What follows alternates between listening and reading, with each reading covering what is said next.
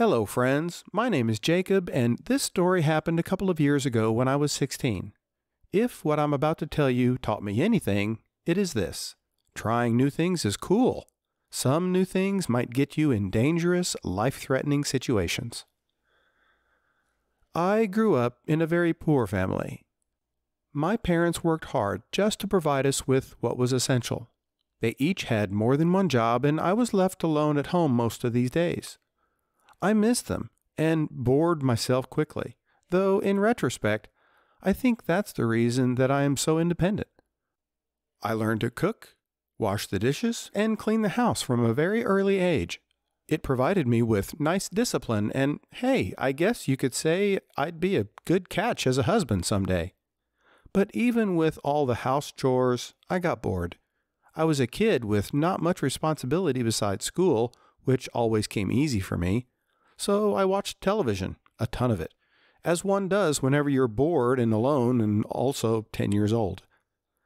I was fascinated with shows about rich people, how they live, how they travel, how they avoid taxes. Just kidding, guys, pay your taxes. I loved to peek at how they eat in expensive, luxurious restaurants and eat the most exotic dishes in the world.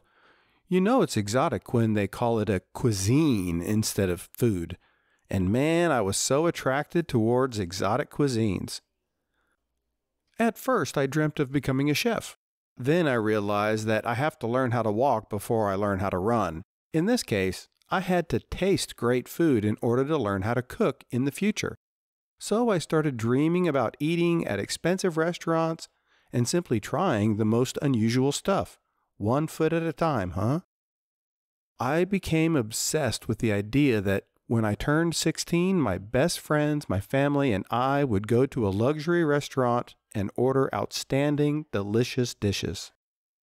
Time passed, I became older, but this thought did not leave me. I tormented my parents for it, and on my 16th birthday, they gave me a coupon to visit a Chinese place in a very exclusive area of the city. Turns out they'd been saving for a very long time because they knew how much it meant to me. Gosh, I have the best parents.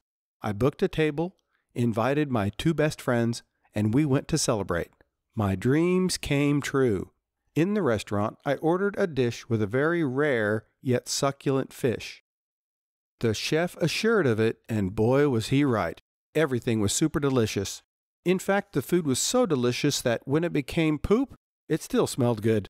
All right, that didn't happen, though the party was a big success, and I couldn't have been happier at the moment. Almost a month passed after my birthday when I began to notice something odd was happening to me. I felt nauseous. I threw up, suffered from fever, and sometimes I had the strangest belly movements. Was I pregnant? You know, I thought so too, but I'm not a girl, so that was impossible. I told my parents about it, and they thought it was funny the way I described my symptoms. Perhaps I shouldn't have started with, Mom, Dad, I think I'm pregnant. Mom suggested I drank antipyretic and went to bed. So I did, and it did not help at all. I had the worst nightmares that night. I felt how my stomach was moving, and suddenly my head was filled with images of the first Alien movie, the best one.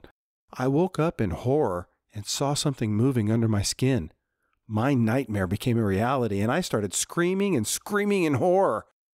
A huge worm is living in my body and will devour my inside, I yelled at my parents as soon as they came running.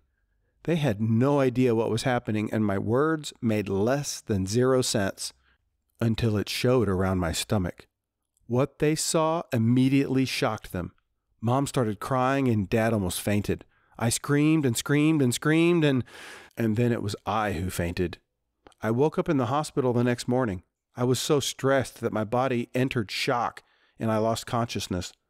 Mom and Dad called an ambulance, and after a short examination, the doctor tells them that my diagnosis my body was infected with a parasite.